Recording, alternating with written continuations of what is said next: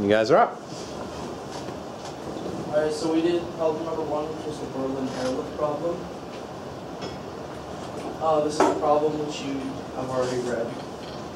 So to get from there to the table, we took, um, for the crew and the cargo space, those were the two top, uh, inputs for the table.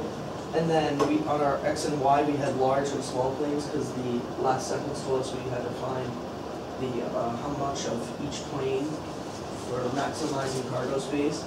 For our limits of crew, we had one twenty-eight. We had a limit of only forty-four planes, and we wanted to maximize cargo space. Uh, we got four crew and two crew for the large and small because it said that each large plane required four crew and each small required two. And each large plane also gave thirty thousand cargo space and small gave twenty thousand. So these are the equations. Um, we have x is greater than or equal to zero, and y is greater than or equal to zero, because you can't have a negative profit, or negative amount of cargo. Um, we have x plus y is forty-four, because that's the amount of planes that we were limited. So, and then we have four x plus two y is greater than or, or less than or equal to one hundred twenty-eight, because we have one hundred twenty-eight uh, workers, and these are the large planes, four X is the large planes, and two Y is the small planes. The max profit is, um, our large, the amount of cargo that we can have in the large planes, plus the amount we have in the small plane, uh, small planes. And this is the graph, we took the X plus Y is less than or equal to forty-four, and we had it ref on this line. And then we took the 4x plus 2y grafted here. We got.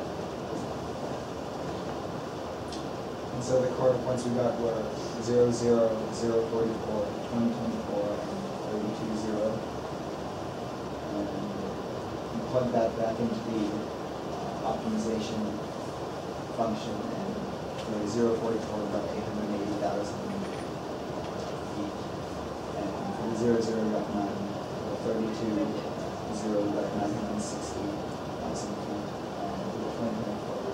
We got like a million beyond Allison And that was the uh, highest. And so our solution is 20 large planes and 24 small planes total into 1 million. 80,000 square cubic feet. Any questions from the audience? Click back for me to um, the one that you have the inequalities and equation on. It's probably like the second.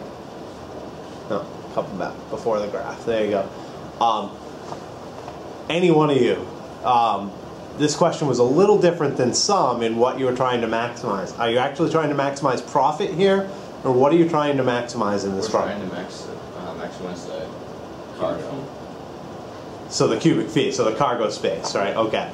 So um, on that one, the equation's perfect, but we may want, yeah, be careful how we label things just so you guys are clear. Hey, it's cargo space we're talking about. So in general, everybody, and this goes to everybody, when you're thinking about um, labeling things, make sure to label them um, well. Because X, what are X and Y in this problem again? Large and small planes. the planes, and then we're trying to get the cargo space out of it. Good.